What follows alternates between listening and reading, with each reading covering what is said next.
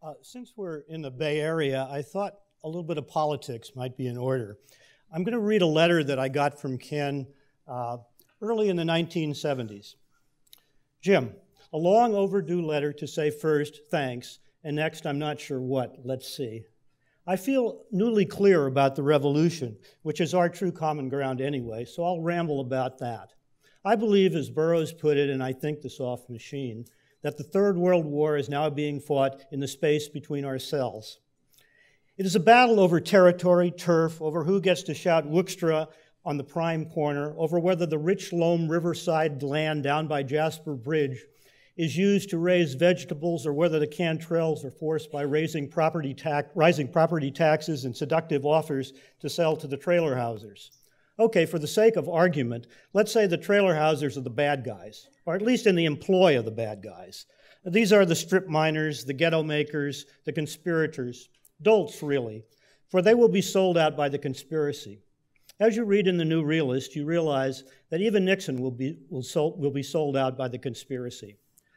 So it seems to me that the trick is how to keep from selling out as the squeeze increases and the opportunities burgeon. Why couldn't McGovern stick by Eagleton? Or John Wayne by Goldwater, for that matter? what makes us sell out? My theory is that it isn't money or power or even glory.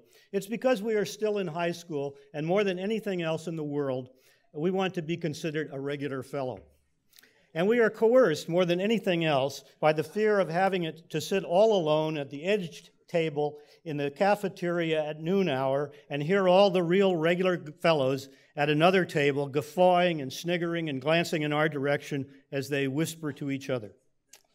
Oh, to be at that table. Socked securely in the bosom of brotherhood, be it black, bearded, buttoned down, or just a bunch of boys whooping it up. Oh, to be gazed upon with such worship by the table full of yell queens in voluminous Letterman sweaters. Oh, to be in with the in crowd. I know a lot of people who don't believe they've really experienced an orgasm without they read about it in the Rolling Stone.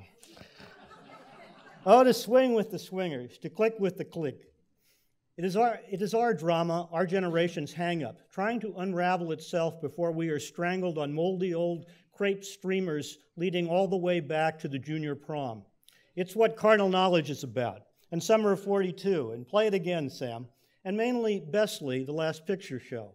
Larry is trying to dig back and unfuse that bomb we all had a hand in wiring up back in high school so that us regular fellows can communicate with the Yell Queens we married without the communication being filtered through roles in an awful coven, so the, so the coven can be dispersed and the power over us debunked, so we can become men and women to each other and tell the makers of Right Guard and Pristeen to stick it up their ass.